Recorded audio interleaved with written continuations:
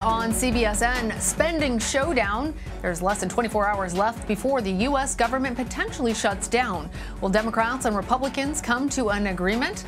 Plus, one step closer to a COVID vaccine for kids. Pfizer submits its data to the FDA for approval. What's in the shot and when could it become available?